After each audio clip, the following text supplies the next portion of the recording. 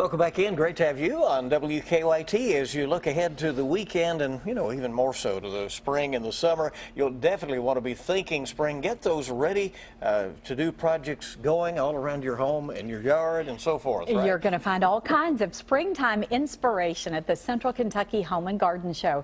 We're joined by Josh England, Farmers Market Manager, to learn more about it. Thank you very much for coming in. Well, I'm so glad to be here to talk about springtime and, and the yes. Home and Garden Show and all that's I happening. agree wholeheartedly. Yeah. Yeah. Timing is right, huh? Mm -hmm. yeah. My allergies are saying that this weekend is spring. there you go. I'm with you on that one, So too. you're inviting folks to come indoors and see what's going on at the Home and Garden Show. That's give, right. Give us an idea. Um, yeah, uh, um, this is the 30, 41st year that we've had the Home and Garden Show, and, and um, we've partnered with the Home and Garden Show as the farmers market for several years now. Mm -hmm. and uh, this Friday, Saturday, and Sunday, you can come down to Heritage Hall in the Convention Center and get all your needs for spring and home renovation and, and learn about what the farmers market is um, doing this time of year. Yeah. It really is fun when you get to just kind of roam around and see all these things and get great ideas.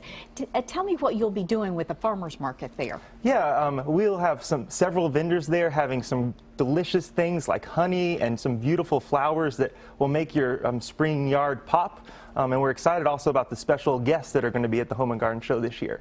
Hey, you want to tell us about uh, some of those? Yeah, we have Jeff Lewis from Bravo TV. He um, is uh, he's known for the show Flipping Out, and he's going to be there being the keynote speaker. Um, so that's very exciting. Um, and then there's also um, Jeff, I mean um, Brian Santos, sorry, um, and he's going to be talking about how to change your walls and, and liven up your house. And those are really fun things.